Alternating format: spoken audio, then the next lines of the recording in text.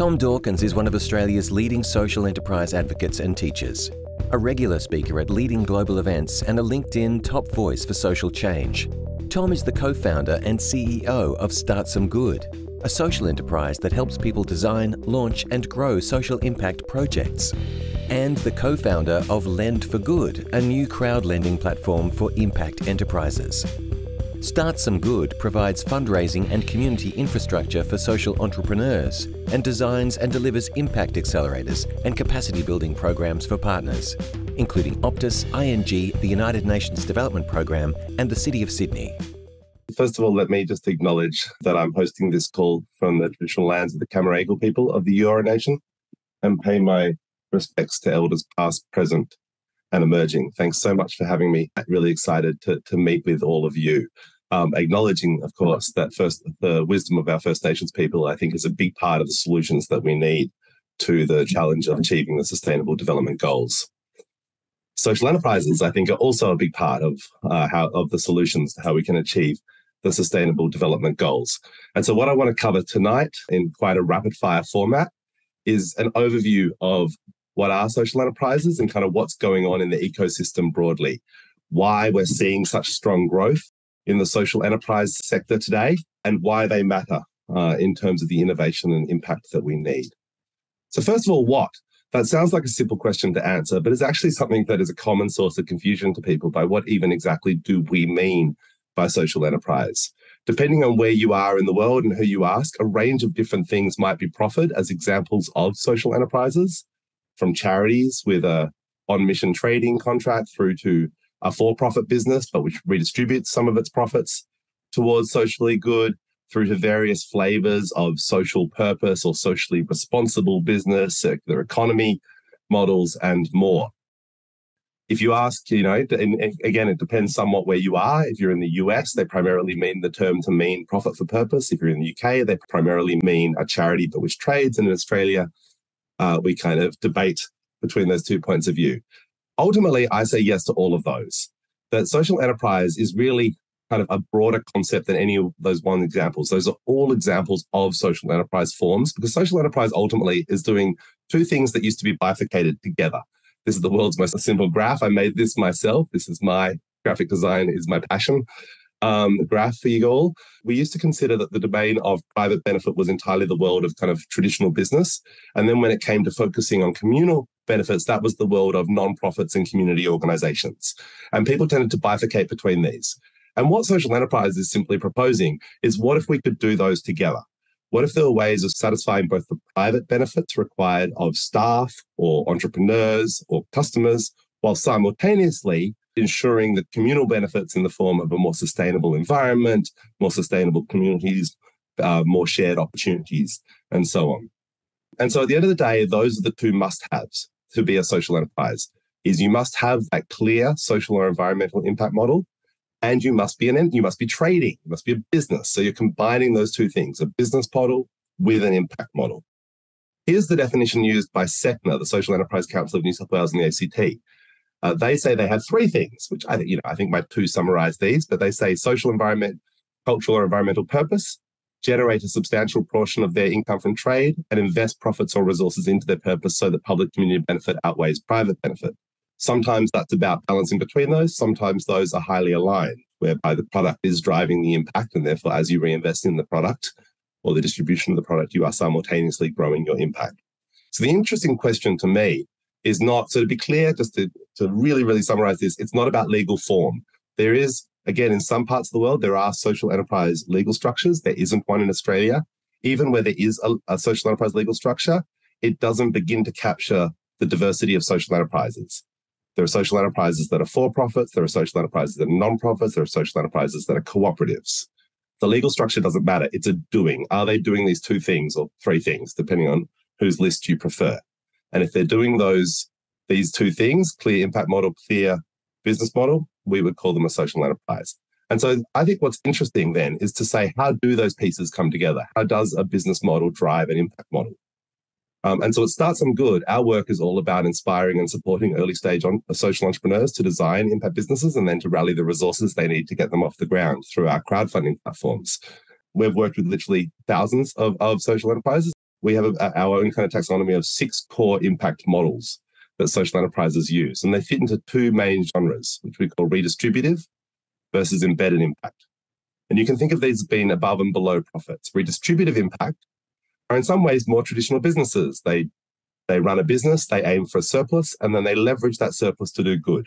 And they do that in one of two ways normally through the direct redistribution of profits or through the redistribution of goods, either through a buy one, give one model or a cross subsidy model. Um, say we do a certain amount of commercial legal work, and that allows us to do a, a another big chunk of pro bono or, for, or low bono legal work for a group who otherwise wouldn't have access to that. Or embedded impact. That's where the impact is delivered embedded within the business model that in some ways, even if the business was never made a profit, ran at break even, it would still be making enormous impact because it doesn't rely on profits to make impacts. The, the impacts are created through the course of the business activities. And there tend to be, we think there's kind of four main ways that happens. Employment is one of the best understood. The business is designed to create employment opportunities for people otherwise excluded. So you see that with people with uh, social enterprises who employ refugees, the long term unemployed, former convicts, and so on, um, those with um, physical um, disabilities, etc. Access, that's often about, so that's redesigning who does the work in a way that makes it, that, that, that supports, you know, social progress and, and equality. Access is often about redesigning the business model or the delivery model to give people access to something they need but have been historically been excluded for. You know, an example of that is banking services delivered through mobile phone networks in Africa hundreds of millions in Africa alone were unbanked, I did not have access to that, but that was rethought in terms of the delivery model of that using mobile phone networks to create bank like infrastructure for the base of the pyramid. Better for us is often around health and wellness products, that through the consumption of that product, we are actually healthier in some ways, often around mental health or physical health. And then better for the world is usually, but not always, about inputs. So think circular economy models using recycled or recovered materials or you know clean energy instead of dirty energy what are the inputs of that energy the sun rather than coal um, so better for the world is often about what is it made out of um, although not always. And then there are blended of course. You see social enterprises that are doing a whole bunch of these things all together. Some do that very successfully. That can also be a common kind of trap for new players is you know very passionate well-meaning people trying to do all the good they can do but setting the bar very high for themselves in the early stages of launching a social enterprise by giving away all their profits and giving away, you know, a product for everyone they sell and employing people with high needs and using only the most sustainable possible materials, that's a fantastic place to end up, but it can be a challenging place to begin. Often, what we encourage people is to really hone in on one core impact model, just as we would say the same on the business model side, hone in on, on you know one core product or service with one core target market to begin with, get that foothold, and then you can expand from there. And we think it's you know usually advisable to do the same on the impact side. Although of course there are exceptions and entrepreneurs, you know, much cleverer than me, uh, who who can who can achieve those diverse outcomes. So to give some examples, um, probably in terms of the redistribution of goods, Tom's was probably the one that made this famous in terms of their one for one shoe model in, in Australia. Uh, an example of that is Hero Condoms, who sell condoms in Australia and then give them away in sub Saharan Africa. Probably the most high profile redistribution of profit enterprise in Australia is Thank You. This is a bit of an unfair photo, to be honest, because they're out of the water business, which I am thrilled about because in some ways they also show some of the trade-offs or, or some of the, the blind spots that can occur when pursuing a single impact model that you also need to be aware of, which is sometimes you forget that it matters how you make the money as well, not just what you do with the money. And I always felt fairly uncomfortable that one of that Australia's most high-profile social enterprise was in the business of selling single-use plastic. I'm thrilled that they're not anymore and that they're focused on homewares and soaps and so on, which I'm a happy user of. Also, some also too much single-use plastic in there, to be honest, but um, but they're making progress there are lots of other examples of this in Australia and most Western countries in, in terms of different um, you know product segments. We've also worked with the a good beer company who apply that model to beer and, and many many other examples as well. To be honest, those are in the often in consumer products, but not always. This is an example of one in the in the you know in the in the B two B services space. This was actually a commercial law firm, but which then are owned by and um, by the Salvation Army, which all, all of whose profits went to supporting the Salvation Army. Now, sometimes people talk about their impact model in a way that doesn't entirely line up with which it is. For instance, STREAT is a well known um, kind of cafe catering, coffee roasting social enterprise in Melbourne. And as it says here on their board, 100% of profit stops homelessness, which certainly sounds like a redistributive, you know, a redistributive model that we run cafes and we redistribute the profit to, you know, non-profits to to do the work. In fact, they're uh, largely an employment, an embedded employment model. Um, but the shorthand, but that that that takes quite a lot more words to explain. Um, and so the shorthand for that is we use all our resources to stop homelessness. The way they actually do that is not by giving away the profits; they are in fact not profitable. Um, it, it is in fact very difficult to run work integrated social enterprises profitably because of the additional costs that are required to really support a high needs person into employment. Um, so they often they're often hybrid organizations that require hybrid support. You know, still still earning the majority of their income from trade, but often requiring and deserving of because it's a, often a very efficient model. You know, requiring some philanthropic subsidy, but you know, philanthropy in the case of STREAT covers thirty percent, pays for thirty percent of their uh, their turnover and budget and work and impact rather than having to pay for hundred percent. Um, and of course, the whole point is to generate the jobs, and to do that, you need to be running a business. Um, which they do very successfully, and they're a great example. And what I love personally about these embedded models is, in some ways, that's I think the true rethinking of the role of business. I think you know the higher calling of or, or mission around social enterprise, I think, is not just better enterprises, but a better form of capitalism, which center, which centers social and environmental outcomes in the way that we do business, and which increases the expectation that businesses do focus on delivering social or considering social and environmental outcomes.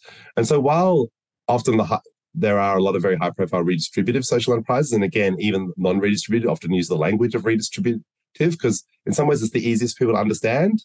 Oh, you give your profits away. That's that's a lovely thing to do. That's wonderful. And it is a wonderful thing to do. And if anyone's working on that model, full respect for that, that's awesome too. But to some extent, I think that doesn't rethink that role of business, that role of capitalism. In some ways, that's how philanthropy has always worked. Someone ran a business, made a surplus, and then gave it away with social enterprise, it's great that that's locked into the model and there's transparency and commitment around that rather than relying, you know, rather than hoping that the person who made all the money does the right thing down the track and so on. But really, it's the embedded models, I think, that are thinking kind of more deeply around what is the role of business. You know, because the role, if if you if all your income is made, impact is made through redistributing your profits, you kind of get left focusing in the same place that traditional business focuses, which is maximizing your profits. How do you do more good? You, you have to make more profits that and that's always been what we considered the role of business. Businesses make profit, and then who do they give that money to if they want to do social good? Non-profits, because it's their job to deal with the tough issues of social change. But I think it's very inspiring when people are pursuing these new models and saying actually it can be the role of business to really tackle it at source as well, to really work with um, these vulnerable young people and to create the kinds of workplaces that create that opportunity for them as well.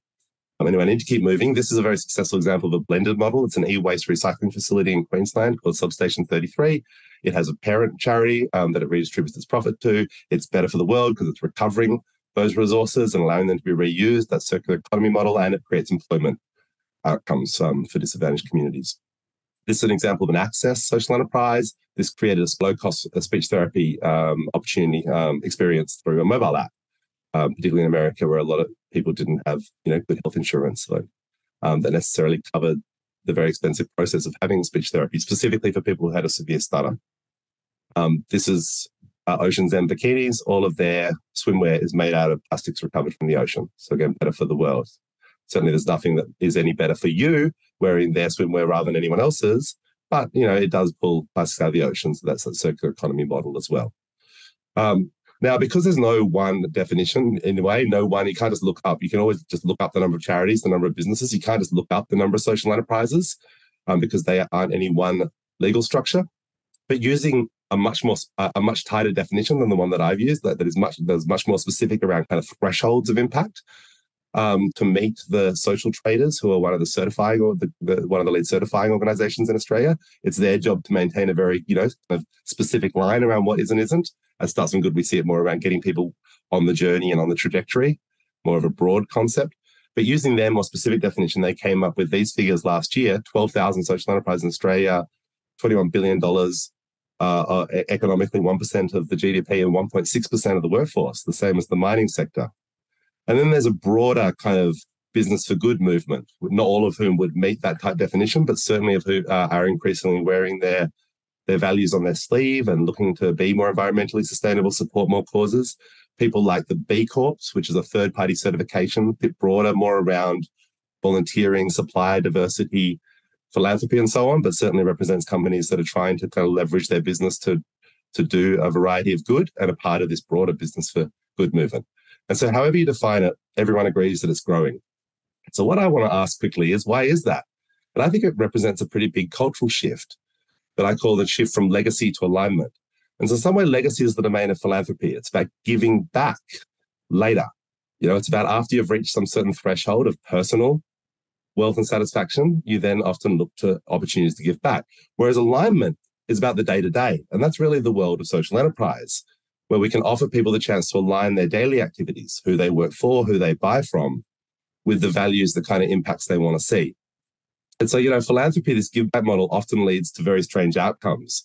This is Alfred Nobel, who's, you know, we think of today, you know, he, we it's his face that we put on a coin and give to the world's greatest change makers.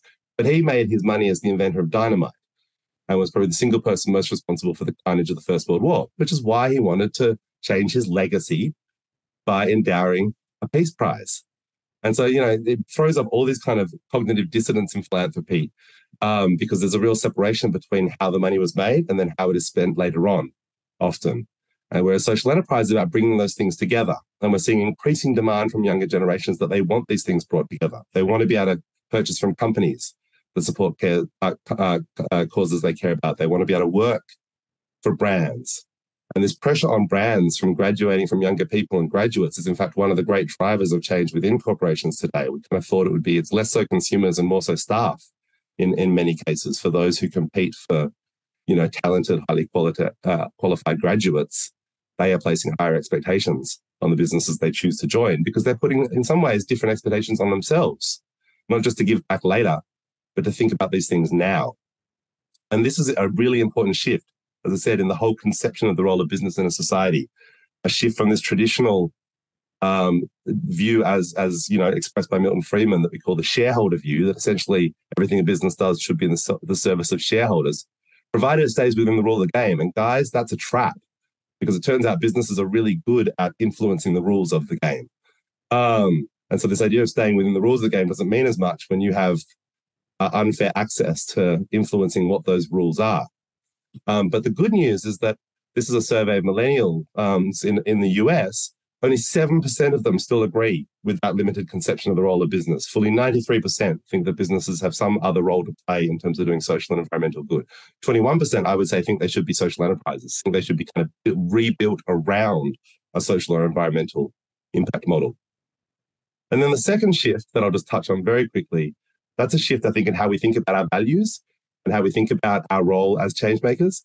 And then simultaneous with that, there's been a shift in how we talk about our values, how we share ideas as a society that I call the shift from interruption to interaction. And you see this in marketing. I did, you know, it's a, a little while since I finished my uni degree, over 20 years.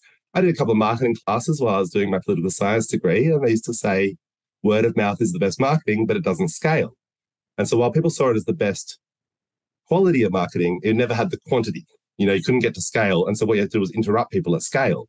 And so how ideas spread kind of marketing point of view, they paid to interrupt people. People are watching the footy, you pay to put an ad. People are even same on philanthropy. People are walking to the shops, you pay someone in a koala costume to interrupt them and ask for a donation. Or direct mail, all of this is forms of interruption. Whereas today, the best marketing isn't the marketing that we interrupt people with. It's the marketing they choose to do for us by sharing what we're doing with others peer to peer. And so today, for the first time, or very recently for the first time, that peer to peer sharing is not only the highest quality of, of idea sharing, but the highest quantity as well. And that's a world that benefits a very different set of companies. A world of interruption is a world where you need budget. It costs money to interrupt. And so it favored the status quo. But a world of interaction is a world that, that benefits stories that are worth sharing, that create influence, that are trusted, timely, and memorable. And this is a world where social enterprises have an intrinsic advantage intrinsic advantage. And you can see this in some ways with the most boring products. Toilet paper purchasers don't often share their purchases on Instagram unless they buy from Who Gives a Crap, in which case they, they do. Why is that? It's because every photo literally says more. It doesn't just say, I buy toilet paper. It says, I'm a conscious consumer. I care about others. There's literally more content in each of these photos. Why is that? Because the business means more. And therefore, purchasing from them means more as well. And so, really, you know, why does this matter in a galactic sense? Not just why is this happening, but why does it matter? It matters because we have a lot of work to do. You know, we're uh, we're approaching, you know, the 2030 deadline. Right now, we're on course with only 12% of the indicators when you get underneath this. And fundamentally, you know, I'm a, you know, I'm a, I, I'm from the not-for-profit sector. I'm not a, you know, so you meet some people who are kind of a little bit zealous around like businesses are a more legitimate vehicle than non-profits. I don't believe that at all. I think we just need to do. I think we need to use all the tools in the toolkit if we're going to achieve these goals. And I think there has to be a huge role for business. But business represents the majority of all the resources that swash that, that swash around our society. Um, business has a set of tools that are incredibly powerful for unearthing and and delivering value and for scaling what works. They've done a lot of harm as well. We need to reorient those tools. We need to use them purposely. But ultimately, you know, when you look at these goals, they are also enormous business opportunities. It's not going to be, you know, when we talk about building sustainable cities and communities, it's not going to be nonprofits and governments building all those sustainable cities. It's going to be businesses. When we talk about decent work, it's not going to be nonprofits and governments employing everyone. It's going to be businesses creating decent work and employing people. Um, we talk about zero hunger. It's not just going to, it's not going to be nonprofits and businesses making all the food. It's going to be businesses that need to make food in a way that is sustainable and also supports life on land, life under the water, etc. as well. So these are so we live at a time, we live at a moment where the greatest social and environmental challenges on Earth are also the greatest business opportunities on Earth. And social enterprise is a way of pursuing those opportunities, which is why we spent 10 years helping people raise money. But a couple of years ago, we launched our course to help people build social enterprises and design social enterprises because we think it's such an exciting new vehicle for delivering change. But often you get people with a strong background in business, but who are fairly unsophisticated about how change happens, or people who are really experts in change and impact from the nonprofit sector, but need to learn some basics around business. Uh, and it's teaching each other each other's tool sets, you know, how to think about impact and theories of change, but also business models, uh, you know, service design, and so on. And we think there's a real magic in the combination of these tool sets, not preferencing one over another, but seeing the value in applying both of them to these enormous opportunities and and and um, and, and challenges. So at the end of the day, you know, I think what's really exciting and inspiring for me and what drives me with the work I do is not just that we can use business to create the future that we want, but I think we must use business to create the future we want, which is why I think social enterprise has such an important role to play. Thanks for having me.